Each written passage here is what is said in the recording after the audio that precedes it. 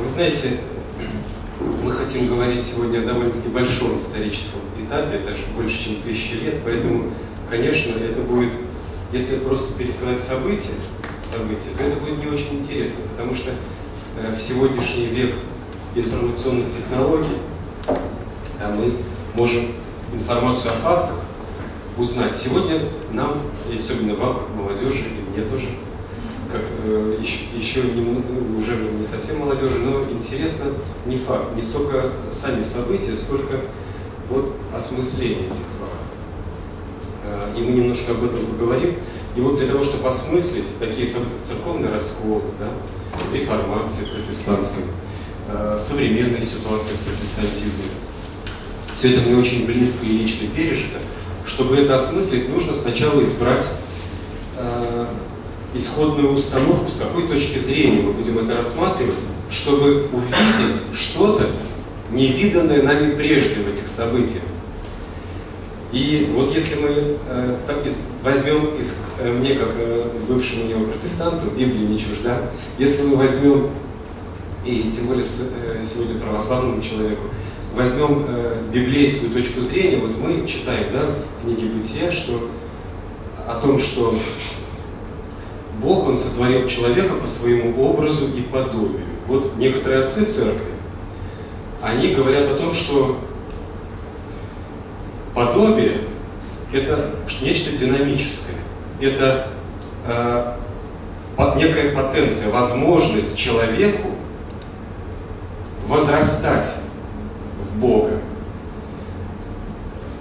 соединяться с Богом, преображаться в Его образ. И, э, то есть человек – это существо, находящееся в становлении. Вот интересное это вступление, чтобы позицию занять, откуда мы рассматривать будем проблемы церковного раскола. Вот человек, то есть это человек, кто, кто такой человек? Это мы с вами. Существо очень интересное. С одной стороны, мы уже человеки. С другой стороны, у нас задача стать человеком. И э, человек, он становится человеком, собственно, когда он Христу уподобляется. То есть, понимаете, человек это не данность, это как бы заданность. Мы все время в таком состоянии. И вот, говоря об истории, э, давайте посмотрим на исторические факты не просто как события, а человека в этих событиях. Потому что когда произошло грехопадение, люди, они не потеряли, человек не перестал быть образом Божьим все-таки, правильно? И э, ситуация вот это состояние существа, находящегося постоянно в становлении, которое хочет себя перерасти, превзойти, постоянно себя хочет, э, существа очень необычного, э, в истории сохраняется. И мы посмотрим, как в этих событиях человек, в каком состоянии был. Э, вы знаете, в исторических ситуациях вот особенно в период потрясений, в периоды каких-то кризисов, когда эпоха за эпохой, вот сущность человека раскрывается. Человек античности – это другой человек, чем человек сегодня. Даже человек чувствует себя другим, определяет себя по-другому. Ну, например, во времена античности понятие человек никогда не понимал себя как личность. Для нас это странно может показаться, но это так. Люди себя как личность, они были личностями, но они себя таковыми не осознавали. И это удивительно для нас, потому нам трудно их понять. Мы же сегодня все хотим личностями, понимаете? Вот. А тогда это было иначе. Вот когда человек оказывается в ситуации выбора, на распутье, то вот тогда в истории начинают обнаруживаться все его грани человека.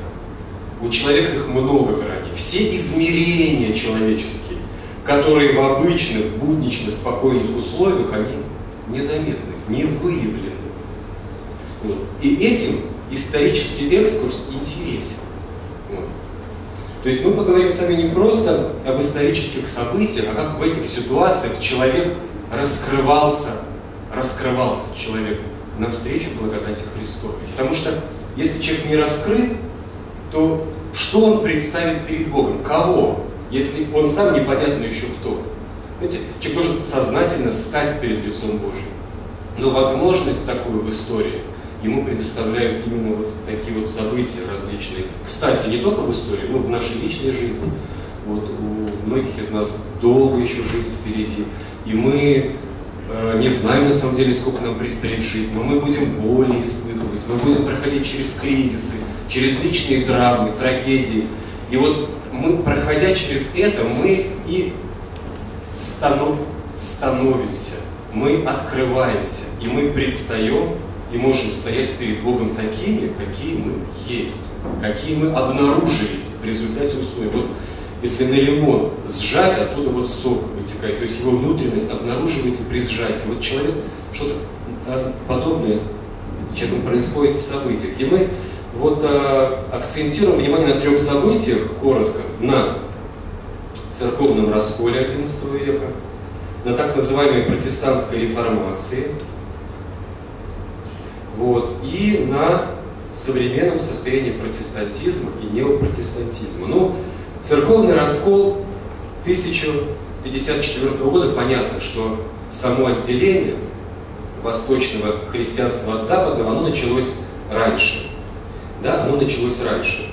А, и сам вот этот спор, который был поводом, да, этот конфликт между э, патриархом Михаилом Кируларием и кардиналом э, Гумбертом, э, ну, вот этот конфликт представителем Льва IX, он э, легатом его, это сам конфликт, и вообще вот конфликт того времени, то, о чем говорили люди того времени, для нас удивительно. То есть фактически спор шел в тот момент о э, латинском и греческом обряде. И лишь э, о пресноке в Евхаристии использования, даты праздников, целебат, священство. Ну, может быть, я какой-то неправильный православный, но все равно, с моей точки зрения, батюшки меня потом обличат и поправят, но э, с моей точки зрения, послушайте, ну стоит ли об этом так сильно ругаться? В конце, ведь, ведь суть не да, понятно, обряд тоже важная вещь, потому что в обрядах есть смыслы. И вот тут мы говорим, то есть речь значит шла не о самих обрядах, а о каких-то смыслах, которые, может, даже люди сами, но они о них даже не говорили об этих смыслах. В полемике зачастую. Просто об этих обрядах, и все.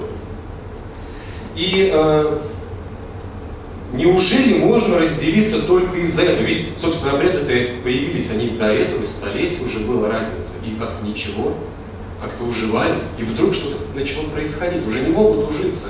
Но повод-то мизерный. Уже потом начали говорить о филиокве. Потом. Тогда это сразу сильно много об этом и не говорили, а о разном понимании Троицы. Хотя это было уже века с шестого, где-то в Испании начало появляться эти вещи на Западе. Но в момент самого, э, самой, э, самого раскола это, это не, во главу угла не ставилось. То есть получается, что даже, даже о примате папы сильно тогда не говорилось. Вот в основном все дебаты, полемика шла вокруг, э, вокруг гре, э, обряда греческого или латинского. И этот факт интересен, как факт о человеке. Оказывается, люди ругаются из-за тех вещей, из-за которых э, мы понимаем сегодня, не стоило бы ругаться, но что-то другое, значит, ими двигало, что они не понимали. То есть, видите, человек, он для самого себя не всегда прозрачен. Человек, он оказывается, может быть, не выявлен, не выявлен, не раскрыт и до конца не понимать, почему для него вдруг вот это важно в обряде. И он будет насмерть стоять за это и готов поссориться, произносить анафемы, проклясть, разделиться. Но какую-то правду он для себя отстаивает. Какую-то, но эта правда больше, чем сам обряд. Она какая-то другая. Но она стоит за этим обрядом. А, лишь только уже позже, во времена Григория Паламы, он пишет об исхождении Святого Духа, уже это осмысляется вполне проблема э, троического догмата Филиоква, исхождения Духа Святого, да?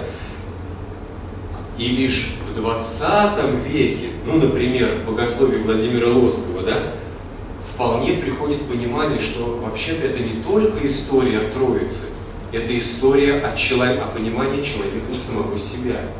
Вот что такое догмата Троицы.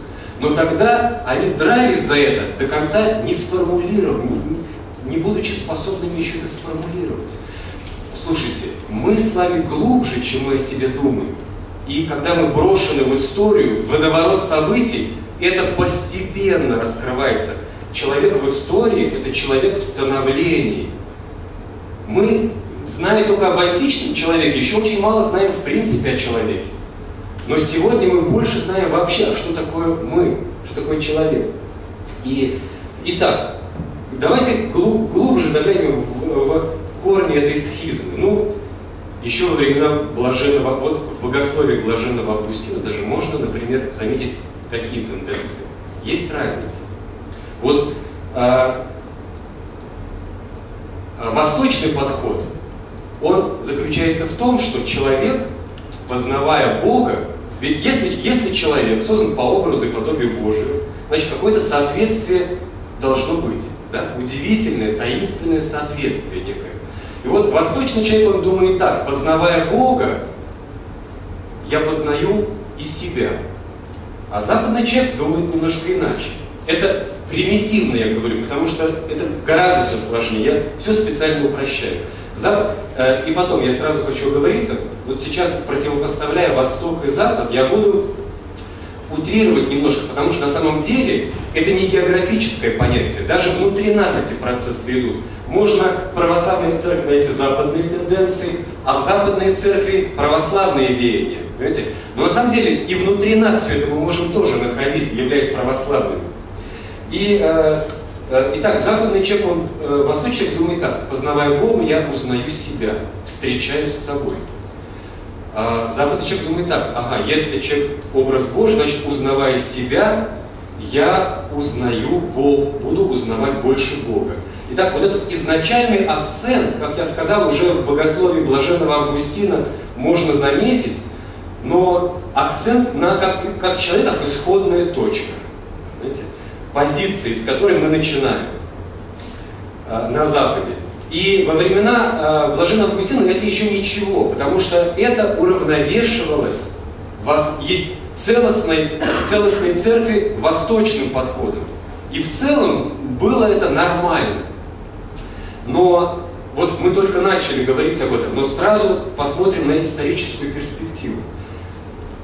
Постепенно отделяясь, не будучи уравновешенно Востоком, да, э, восточной традиции, вот этот подход, если я образ Божий, значит, узнавая себя, я узнаю Бога, начавшийся еще давным-давно, где-то во времена Августина, в XIX веке, например, философии Фейербаха, закончился другим выводом. То есть это линия, которая постепенно гнула в этом направлении, закончился другим подходом. Он, он говорил, э, этот философ 19 века, что ага, если я образ Божий, что это значит? Ну это значит, что я создал Бога по своему образу и подобию.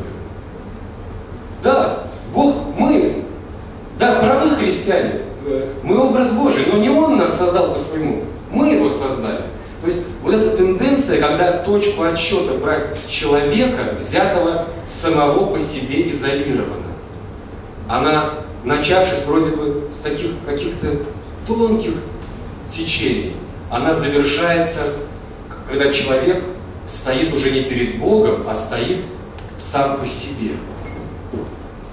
Вот. И, э, например, вот эти тенденции, они начались на Западе, да? которые впоследствии, и это, знаете, люди это интуитивно, не, даже не, не вербализируя, они это ощущают, эту разницу и всегда ощущали, как, как это происходило. Дальше. А, проблема, проблема филиоков, проблема исхождения Духа Святого. Я сказал, что это ведь не только проблема э, троическая, троичество богословия, это проблема антропологическая. Вот смотрите, что такое Отец, Сын и Святой Дух? Это не социальные роли.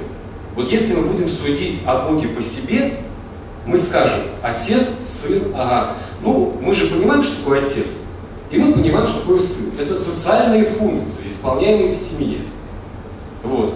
И мы переносим это как на, на, на троицу, как социальную функцию. А у Бога это не социальная роль, это имя. Отец, Сын, это уникальные имена. И, и когда мы говорим о Духе Святом, который исходит да, от Отца, это, это э, Отец безначальный, да, родивший Сына, Сын, рожденный от Отца, и Дух Святой исходящий. Мы сейчас формулируем имена, мы произносим имена Бога. И если обнаруживается, в чем особенность имени, оно уникально. Для нас это тоже непонятно, ведь меня зовут Юрий, и кто-то здесь есть еще Юрий? Юрьев нет. Ну это да, водитель, в рамках водитель Юрия. Ну вообще-то Юрьев много, да, то есть получается, что для нас имя, мы не понимаем, что имя это уникальное, э, не, это имя, оно указывает на уникальную личность, неповторимую. Э, для нас имя не обладает таким, мы открываем святки, собираясь крестить ребенка.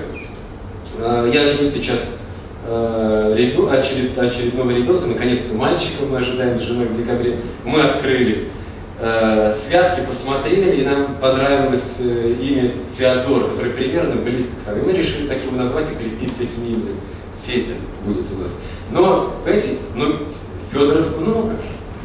Но мы-то э, понимаем, что это уникальная личность будет, как и каждый из нас. Да?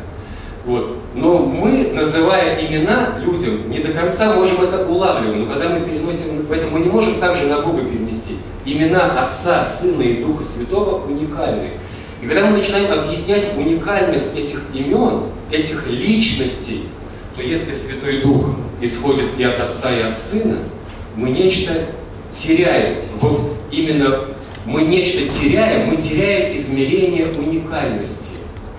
Потому что тогда э, Отец, он рождает Сына, Сын, он рожден от Отца, но и Отец, и Сын, они изводят Духа Святого Оба, как бы, но, понимаете, речь-то не о функциях, речь-то не о природах, в данном случае речь только об именах, а уникальность тогда исчезла.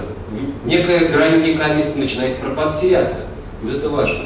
Если теряется вот это ощущение, то есть, понимаете, что дало христианство? Вот откровение Троицы впервые, э, осмысливая откровение Троицы, человек, собственно, и это общепризнанный факт, нач, начинает сам себя осознавать личностью. Поэтому античный человек себя личностью не осознавал.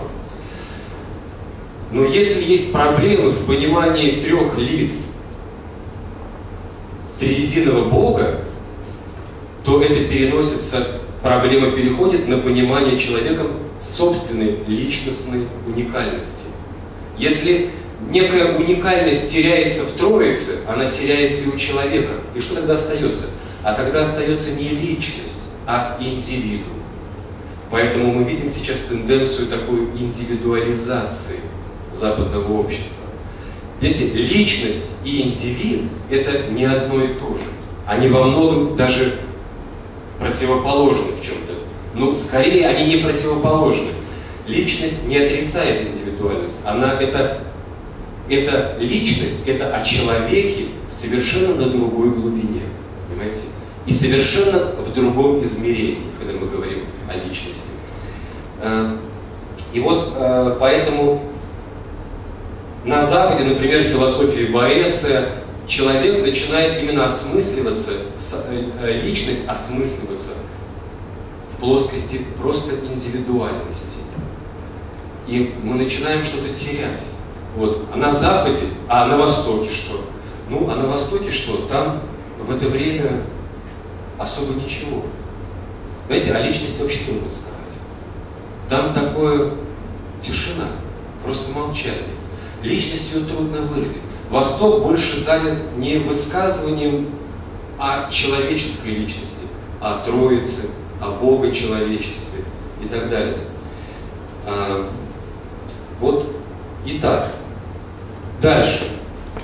Ага, если человек это образ Божий, дальше идет, значит человек существо разумное. И вот Восток говорит о том, что если человек существует... В чем наша разумность? А святые отцы э, согласны все, что наш, наш разум – это одна из граней образа Божьего в нас. Но что такое наша разумность? Ну, это способность божественное откровение принять. Апостол Иоанн говорил, что Сын Божий дал нам свет и разум. Свет – откровение, и разум, способный это откровение принять в человеке. И, а Запад говорит по-другому. Ага, если человек это не совсем личность, а индивидуальность, я все утрирую, чтобы было понятно, понимаете? Я никого сейчас не цитирую э, из западных богослов, просто какие-то вот тенденции пытаюсь высказать. Если человек просто индивидуальность, то ну что же в человеке главное? Потому что личность – это весь человек вместе, когда все собрано воедино. А если человек индивидуальность, то он состоит из разных частей. Мы, и какая-то часть должна быть главной. Хорошо, тогда главное – разум. И разум без личностного измерения всегда становится рассудком. А рассудок – это логика. Понимаете, разум больше, чем логика. Но когда мы переходим на, э, э, на плоскость индивидуальности, то разум становится рассудком и логикой. И тогда э, западный человек говорит, ага, если главное в человеке это разум, читай, рассудок, логика, а человек создан по образу и подобию, и главное разум в этом образе и подобии, значит, евангельское откровение мы можем доказать логически. И Фома Аквинский это делает с очень добрыми намерениями, миссионерскими. Он хочет мусульман переубедить, еще кого-то убедить. И он доказывает евангельское откровение а, логически. Вроде хорошее дело. В чем? А подвох-то в чем? А подвох здесь огромный. Это мина замедленного действия. Смотрите, что происходит. Откровение свыше становится на фундамент человеческой логики и пытается то есть берут это евангельское откровение божественное и пытаются поставить на фундаменте логики. Получается разум фундаментальнее, рассудок нечто более фундаментальное, способное доказать. А, и почему я говорю, что именно это мина замедленного действия? А потому что это возможность уже, как только во времена Фомы Аквинского, это уже возможность будущего перехода от евангельского откровения к, если разум в основе откровения лежит, к религии естественного разума. А от религии естественного разума переход вообще разума без религии. И еще только там 11, 12 век, 13, но это уже, это уже, эти тенденции уже начались. И э, Восток, он их отвергает. Восточный человек, он этого не воспринимает, таких вещей. Но на Западе такие тенденции происходят. И э, вот, и смотрите, это возможность будущего богоотступничества, если разум человека в основе даже религии, то слушайте, мы по разуму можем устроить свою жизнь тогда и всякой религии. Он же в основе всего тогда. Понимаете? И вот мы пытались это сделать. И человеку эти возможности однажды были даны, такие заложены, такие возможности отступления. Ну а мы с вами говорили, что история, что такое? Это когда все возможности, заложенные в человека, они всегда реализуются. И это была реализованная возможность устраивать жизнь по своему уму без евангельского откровения. Человек этим, этими возможностями воспользовался по полной программе.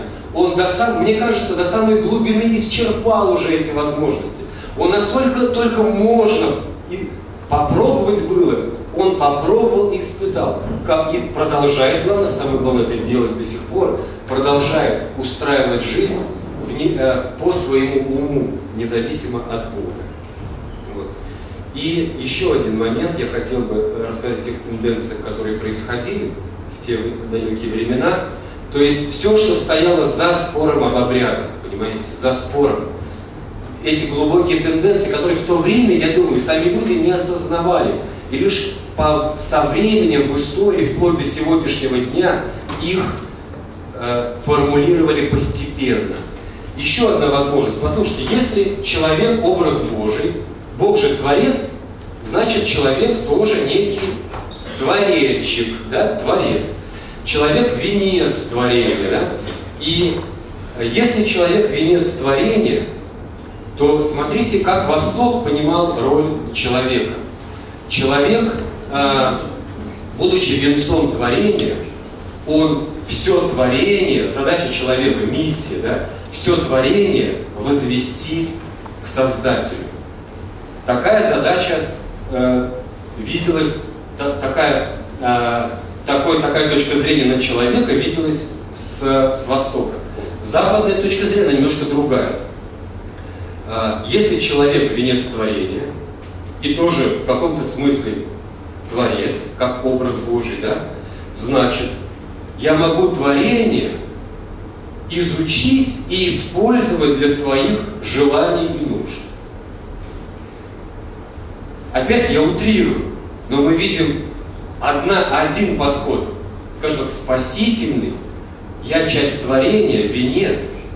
И моя задача вместе с собой во Христе творение возводить к Творцу. Своей жизнью, да? И своим отношением. Вы знаете, даже, э, например, например, об этом говорил Максим Исповедник, уча о логосах божественных, о смыслах, которые заключены в твари, когда человек, вот смотрите, восточное отношение к познанию мира. Когда человек познает мир, он с эти логосы божественные в творении, их усваивает, с ними соединяется, и тем самым творение объединяет вокруг себя и, спасаясь сам, спасает творение. Понимаете? Вот отношение, вот такой вот научный подход, да? Подход к познанию мира. Вот. И другой подход. Изучить, чтобы приспособить для своих целей, для удобств, комфорта, э, желаний своих, удовлетворить все желания свои. То есть подход потребительский, да? Вот. Опять же, это не значит, что на Западе все ученые вот так вот мыслят, а на Востоке, особенно, честно говоря, и науки там сильно большой. Ну, не будем унижать восточные, восточных ученых, но она больше, если говорить о научно-техническом прогрессе, все, что на Востоке, это отголосок западного прогресса. Оно так действительно. И, смотрите, но это не значит, что на Востоке такое очень доброе отношение к твари, а там потребительское. Я говорю о неких тенденциях, которые заложены. Вот все эти тенденции можно самих себе найти. Это не географические понятия сейчас, в данном случае, повторяю.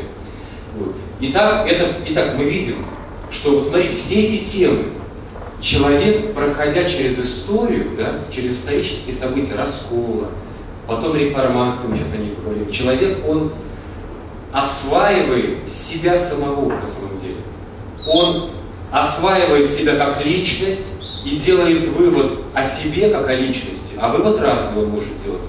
Он может говорить, я по образу Божию уникальная личность, или он может сказать, я индивидуум и главное во мне рассудок. Это не одно и то же. Человек обсуждает проблему свободы и что с этой свободой делать человек осваивает проблему власти. То есть я, раз образ Божий, я маленький творец, так, что мне натворить? И он к природе либо как, как потребитель подходит, либо использует свою власть, чтобы ее, э, себя и, и весь мир при, принести пред лицо Божье. И это, наконец, проблема любви также. Вот все эти вещи, свободы, власти, все эти вопросы любви, личности, э, человек, э, раскрывая свои потенции, он делает выборы в ту или иную сторону на протяжении истории, в этих исторических событиях.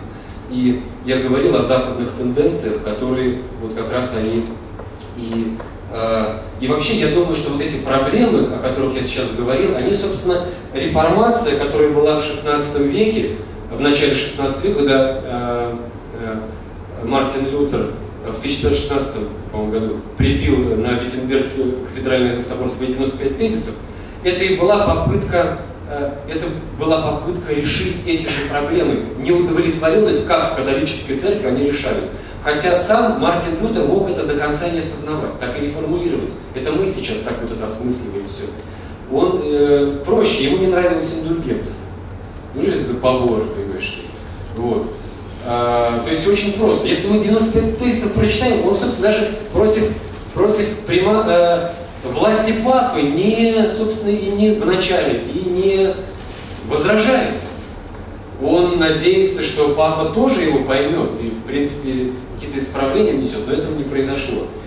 Итак, и протестанты, и католики, они решали вопрос свободы.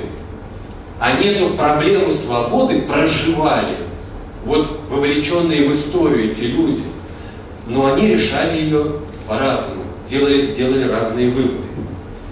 А, в католицизме в то время не было политической свободы, да? власть папы. Но в была свобода все-таки, она была иная, она была экзистенциальной. Пожалуйста, свобода творчества, только не трогай догматы. Потому что на догматах, на идее зиждилась власть папы, собственно, во многом. Поэтому это было, поэтому не трогай. А в остальном твори, твори, пожалуйста. И мы видим эпоху Возрождения, да, просто какой-то взрыв творчества происходит. Но интересное наблюдение я прочитал у нашего э, замечательного философа Лосева. Кстати, тайный, э, тайный монах, принявший постик на Афоне. И он, интересно, в, своей, в своем таком тол толстом труде по эстетике э, античного мира, а, эпохи Возрождения, извините, он э, сделал такое наблюдение. Он говорит, удивительная вещь, которую ученые еще пока на которую не дали ответ. Эпоха Возрождения, когда мы видим всплеск творчества, великие взлеты человеческого гения, Леонардо да Винчи и все такое. И в это же самое время самые темные стороны человека, самые ужасные беззакония, грехи, все, что страшно и стыдно и ужасно, все это со страшной силой вылазит на поверхность. Он это исследовал как историю и констатировал этот факт. Понимаете, на самом деле человек имел огромную свободу, и он пользовался свободой в разных направлениях. Грешить, творить или еще что-то делать, делать хорошие вещи. Э, любые. Вот. А протест, вот протестантизм такой свободы испугался. Поэтому, кстати, протестантизм очень скуден на, например, ну, например, на какие-то творческие какие-то достижения. Та эпоха, я имею в виду. Лютер в споре с Эразмом Роттердамским, католическим мыслителем, они спорят о вопросе свободы воли человека. И Эразм, католик, казалось бы, живущий под диктатом папы, понимаете, он говорит, что человек свободен, делаешь, твори. Да мы можем многое, ну пусть не все, но очень многое. И Лютер, протестант, который свергает себя э, тиранию Папы Римского ради политической свободы, в то же самое время в плане внутренней свободы говорит, да нет, мы такие грешные, что вообще выбора никакого нет. Мы вообще ничего не можем делать. Все бесполезно. Вот. То есть вот удивительно, что совершенно по-разному. То есть они в разной сфере э, признавали или отрицали свободы в разных сферах. Но это всегда было, это всегда было поиск и размышление человеком о свободе. Слушайте, люди, но мы ведь и сегодня, каждый из нас, в такой же ситуации. Что, что происходит с нами? Мы с детства пытаемся понять границы своей свободы. Первое трехлетнее «я сам, я хочу». Потом подростковое э, «мама, это моя жизнь, не вмешивайся». Вот. На самом деле вся человеческая жизнь – это испытание границ своей свободы. Мы так устроены. У нас есть свобода, но как ей распорядиться? В какую сторону жить? Понимаете? Как, как это, этой судьбой распорядиться? Это уже каждый болезненно, тяжело, но решает сам. Вы прямо сейчас это решаете эти вопросы, может быть, даже не всегда осознанно, но а иногда и более осознанно. И, и э, протестантизм – это реакция на человекобожнические тенденции в католицизме. Ну как могли, отреагировали, хотели как лучше, но получилось как всегда. Вот. И вы знаете, но с другой стороны, протестантизм, он преемник католицизма. Например, человеческий индивидуализм, который, собственно, принимался и в католицизме, в, э, в протестантизме доводится до предела. Ага, если я индивиду, то есть, понимаете, если измерение личности потеряно, я только индивиду, тогда что? А тогда и, кстати, о, о отступлении. Когда сегодня люди говорят о личности, о свободе, в 90% случаев не о личностной свободе, а индивидуальной. Вот. И э, если я индивидуум, значит, а, я индивидуум это первое человеке знание, которое было в то время. Второе, человек это главное, что рассудок, то есть такая большая голова в человеке, логика. А, если рассудок и индивидуальность, тогда что? Тогда таинства не нужны, они рассудком необъяснимы. Отбрасываем. Тогда э, предание не нужно, а с какого, с какой стати? Я буду, как индивидуальность, я сам пойму Библию, я сам буду читать, и это, в принципе, оно неплохо. Это главное до крайности не доводить. Тогда предание не надо. Потому что вот я, индивидуальность, вот мой рассудок, образ Божий во мне. И вот Библия. Зачем мне э, Папа Римский, зачем мне церковь, а зачем мне священник? Я так сейчас почитал, все понятно, все буквы знаю, слова известны мне, я могу все понять. И человек читает. И поэтому что такое протестантизм? Это когда взяли и какую-то, взяли правду, да, как некую, ее урезали, и от этой правды остались те осколочки, ну, те, тот кусочек, который более-менее еще рассудком в три закона логики укладывается. Знаете, урезали, уложили, а остальное осталось за пределом. Потеряли. Богатство потеряли. Вот. Э, поэтому вот это беда, конечно, э, протестантизма, и вот что с ним произошло. И, и если раньше авторитет был у папы, да, то теперь у кого авторитет? Тогда авторитет у Библии. То есть авторитет, ну понимаете, вроде это красиво звучит так, ну, свято звучит. Но а, вообще-то тут надо бы о Христе говорить, а не о книге и не о тексте, хотя она действительно богодухновенная. Но нужно-то говорить о Христе, о Его теле Христовом, которое есть церковь. Вот мы говорим о авторитете текста. Это совершенно иной способ существования христианина.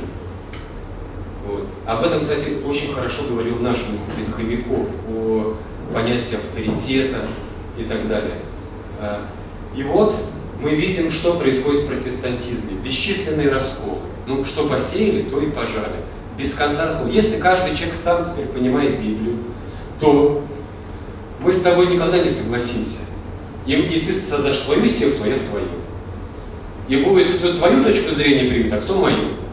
Вот, и поэтому даже я перечислять не буду э, количество, сколько у нас существует конфессий, их очень много. Вот. Э, но э, важно что понимать, что в XIX веке произошло такое историческое это не событие. Такая тенденция началась в истории человечества, которая называется кризис рационализма. Понимаете, это, э, это э, проблема, потому что протестантизм возник именно как религия рациональная. И он был э, естественным продолжением процессов, которые были в католичестве, э, когда мы рационально пытались доказать Евангелие рациональными аргументами и клали рацию в основу откровения. Вот. Но 19 век люди постепенно стали в силах своего рассудка разувериваться. Разувериваться. Возникла, э, возникла психоанализ Зигмунд Фрейд. Оказывается, в человеке столько всего нет не рассудочного, а подсознательного. Ой-ой-ой. Зигмунд Фрейд. Возникает, возник, был там философ Шопенгауэр, да? он говорил о, о мире как воле, что в мире превалирующая сила не разумная, законная, а сила э, желаний, воли, стремления. Э, можно сказать, например, о, э, о ком еще? О Ницше. Вот. И смотрите, если Фейербах сказал о том, что окей, человек э, это образ Божий, хорошо, но он взял это, перевернул и сказал, но на самом деле, это нужно так сказать, что не Бог создал человека по своему образу, а человек создал Бога по своему образу. То есть, да, Бог есть, но просто как идея человеческая. И все. А Ницше сказал просто, ну, хорошо, тогда Бог умер. Вот. И, э, понимаете, и 19 век был еще связан с тем, что, что э, люди предчувствовали наступление Вторая, Первая мировая война, да, она разразилась в начале 20-го, но эти предчувствия этого, катастрофы, что все рушится, все не так, как мы это себе представляли. Э, люди переставали верить во всемогущество рассудка. Протестанты на это отреагировали. Легко и просто. Для протестанта э, в, именно в конце 19 в начале 20 века появляются неопротестантские тенденции, как пятидесятничество, например, или там э, а, а, в 19 веке еще адвентизм, где выходят э, во главу угла не, не столько логические аргументы, сколько чудеса, сверхъестественные переживания, пророчества, вот. И э, неопротестанты, они со страшной силой, то есть, понимаете, если таинств нету, если ощущения чуда в самом себе, как своей уникальности перед Богом нету, понимаете, у православия никогда не было проблемы -то с чудесами, -то, ее не было никогда, они всегда были. Вот. Но, а, понимаете, когда человек себя как уже как чудо не воспринимает, потому что рацию это не чудо, там все понятно. А когда человек как тайну уже в себя не заглядывает, как великую тайну, а, то тогда, а, а в разуме уже разочаровался, то что нужно? Ну, нужно, чтобы какое-то основание для жизни было, нужны чудеса, нужны какие-то сверхъестественные вещи. Потом, э, э, в 20 веке человек, э, в 20 веке человек испытывает, переживает ужасы тоталитарных режимов да, там, фашизм, коммунизм и так далее. Ну, слушайте, э, когда индивидуальность человека была уничижена, когда коллективное подавляло индивидуальное, и в ответ, естественно, стремление людей свою индивидуальность, наоборот, утвердить. Протестантизме то же самое. Люди ищут не только чудес, но и второе. Они ищут каких-то особенных личностных переживаний, они хотят испытать что-то. Они хотят ощутить себя, свою, э, независимую от догматов, свою какую-то некую индивидуальную реальность, бытийственность каких-то ощущениях. Им важно не просто религия вероучения, им важна религия вот индивидуального переживания какого-то, чтобы почувствовать Бога. И это, в принципе, само по себе неплохо. Понимаете? Само по себе это правильно, но когда это становится целью главной, происходит какое-то искажение. А, вообще я хочу сказать, что э, в, протест... в неопротестантизме, а знаете, они, не надо из них страшилку делать. Это люди, а, во многом хорошие люди. Они ищут ответы на те вопросы, которые жизнь им ставит о себе. И они какие-то находят. Они могут быть неправильные. Но это всегда нахождение ответов на какие-то свои вопросы. Всегда. Поэтому, знаете, э, что мы можем э, противопоставить, когда мы общаемся? Мы можем только свой опыт богообщения. Вот и все. Э, эти аргументы на уровне логики для неопротестанта, они не так актуальны. Потому что неопротестантизм – это во многом современное явление пострациональное, то есть после кризиса рационализма. Современный мир, он уже не мир э, рациональных, э, как бы рациональности, да, где в угловую угла ставится логика. Поэтому много разных спиритизма, там всякого, там все, вот этого всего прочего. Вот. Э, и современный человек, вот мы сейчас с вами в этой ситуации, современный человек, он продолжает эксперимент с чем?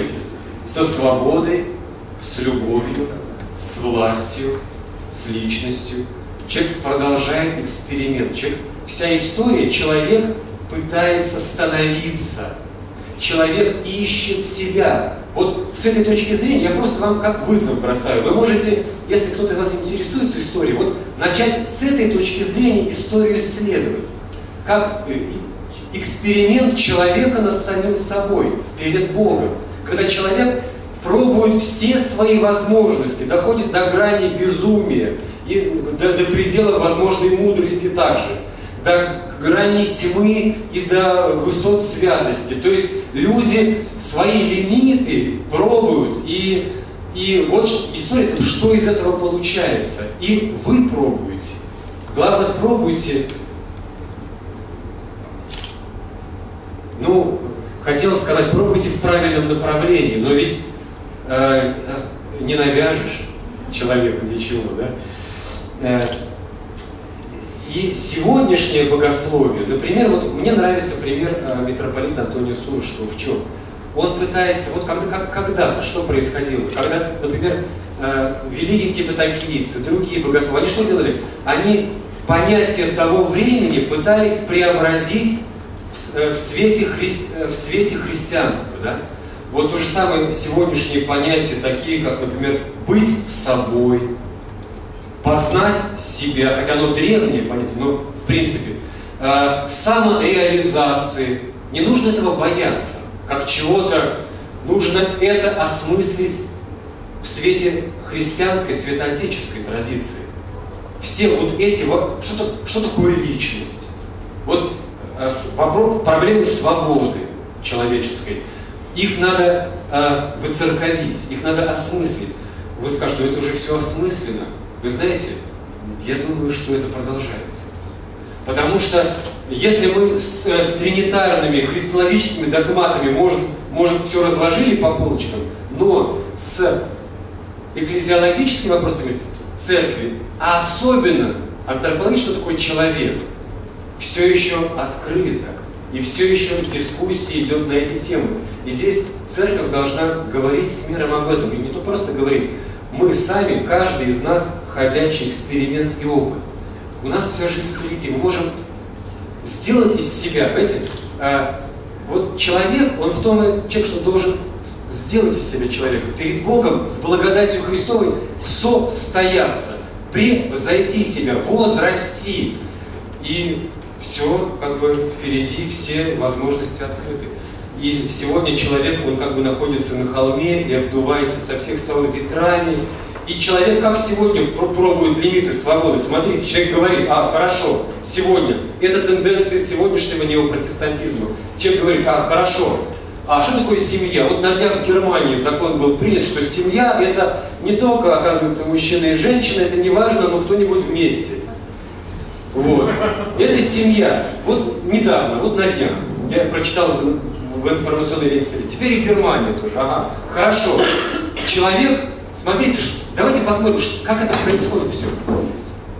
Максим Исповедник говорит, как понять вообще? Нужно уловить божественные смыслы, логосы, заложенные в вещах. А если Бога нету? Человек говорит, если человек сам стоит в, в одиночку, он говорит, там никакие смыслы не заложены. Вот я сам заложу смысл, какие захочу. Видите, это разный подход. Вроде один, одно и то же творчество, познание, свобода, но совершенно разный подход. Первый человек точка отсчета, в другом случае Бог точка отсчета.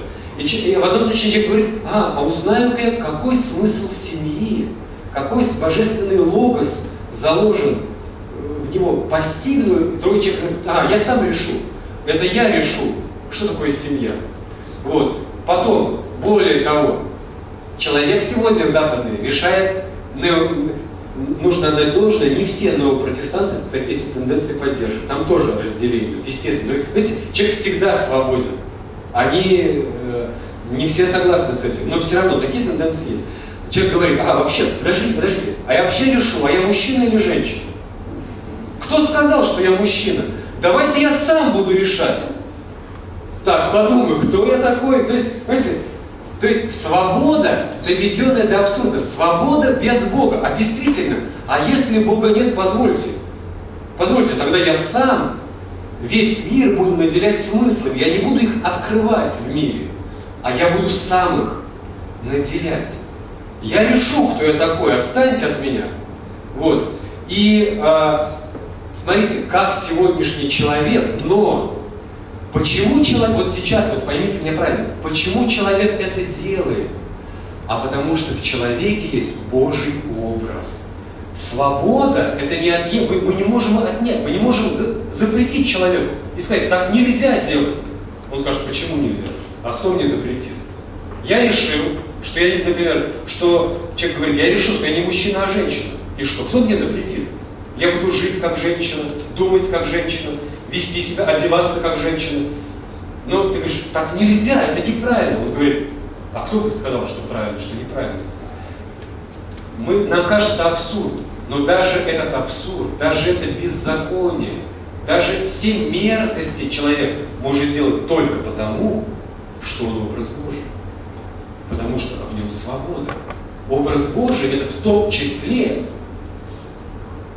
свобода, которую дал нам Бог. И обратите внимание, на каждом шагу Бог тебя не поправляет. Не одергивает. Опять не так. Так же он не делает. Сколько мы дров наломали уже в жизни успели. Хотя вроде молодежь тут собралась, но мы же понимаем, что мы что-то уже неправильно делали в жизни. Но почему? Только потому. И Бог нас не одергивал в тот момент. Он разрешил нам ошибиться. Да? Почему? А если бы Он нас одергивал и не давал нам этой свободы, мы не были бы образом. И вот этот образ Божий тайно в нас. Да? Это в наших руках. Как мы этим распорядимся? В какую, в какую сторону мы будем жить? Направим ли мы это к Нему и будем стоять перед Его лицом? Или же мы будем стоять без Него, одни в этом мире? Ну, пожалуй, это все, что я хотел сказать. И вопрос.